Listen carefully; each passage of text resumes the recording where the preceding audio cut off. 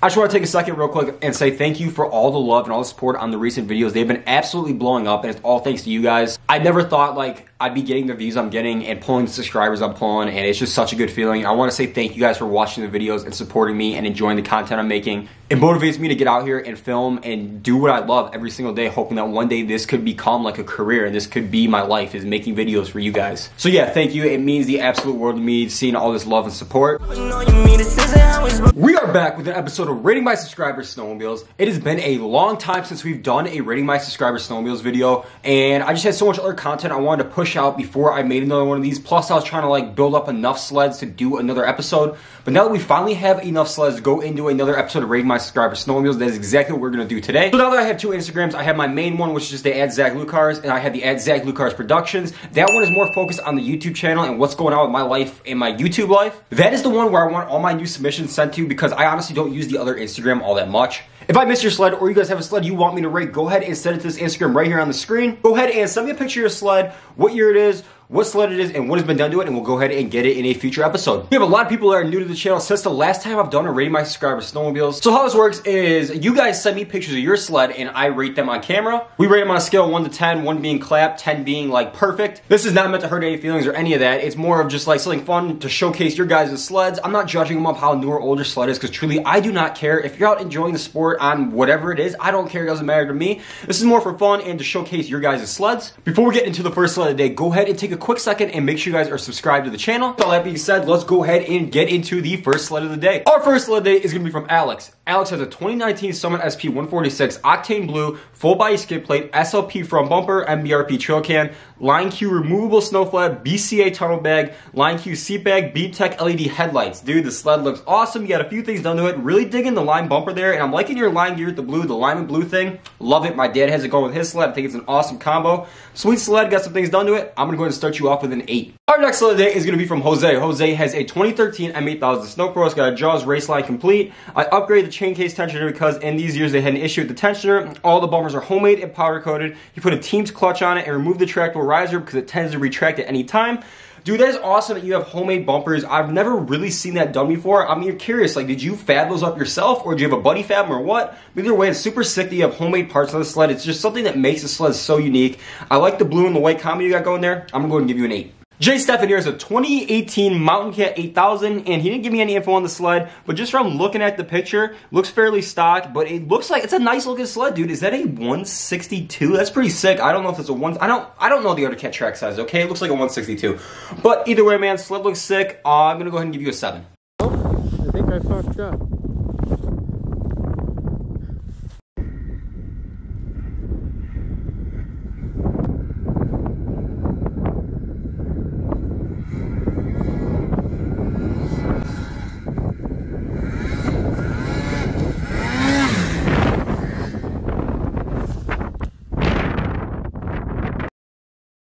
Here with a 2019 Pro RMK 800 with a 3-inch track, and it looks to be a 2019 or 2020. I can't really tell. The color scheme, I think it's a 2019. Either way, you don't see the red and black very often. And I love when you send me videos because like I like putting your guys' videos in my videos. It just makes it more entertaining for you guys to watch and more entertaining for me to edit. Either way, man, six sled, you're absolutely ripping it. I'm gonna go ahead and give you a seven.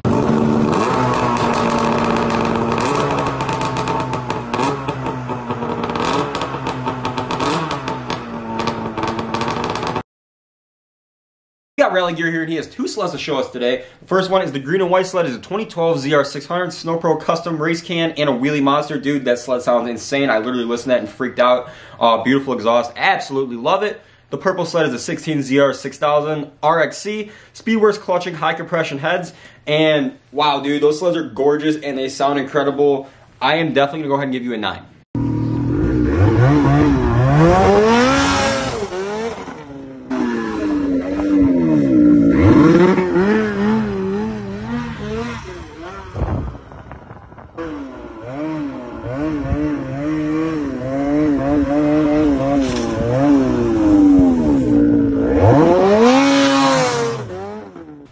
Mr. Turner here. Turner has a 2016 Summit 800 headlight lead 6-inch light bar, Redline Performance Turbo, and Fuel Programmer. Thing rips and is pumping out 220 horsepower on 5 PSI. Dude, my first Mustang had 300 horsepower. That was a car. To have 220 horsepower on a sled, crazy, ridiculous, insane. Um, like it rips, obviously, and I'd love to ride that. Like, what I want to know what 220 horsepower feels like on like a 400 pound sled. That's insane to me. So six sled, sick build. I'm gonna give you an eight. We got Jesse here. Jesse is a 1980 Arctic Cat 440 mod sled. I have a 136 inch skid with a 2 inch paddle that's gonna be under her soon. I have my eye on a 600 throw in there that might be happening. Dude, that is awesome. I love seeing stuff like this. Like, I we me my boy Brandon we bought an Arctic Cat Jag with like intentions to do something similar to this, but we never ended up doing it. But like to build up a sled like that, throw with 136 with a two inch and the riser, and like drop it a different motor. That's awesome, dude. I like respect the effort and respect the build. Um, please send me pictures of it when you're done with that 136 skid. because that's going to be really interesting to see and it's going to be a really unique build um, just for the build and everything man i'm going to go give you an 8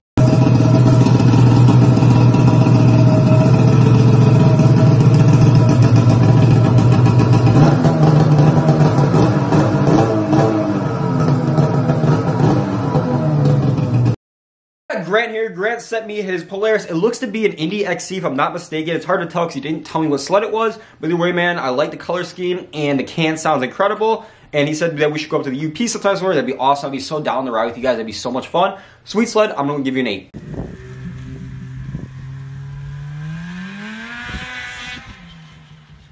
We got CJ here, and he has three sleds to show us today. He has a 2002 MXZ 380 fan cool, 2006 GSX HO600, and a 2007 Ski-Doo MXZ Blizzard with an MBRP race can. Sled sounds incredible with that can, by the way. You had an awesome fleet of sleds there. I'm going to give you an 8.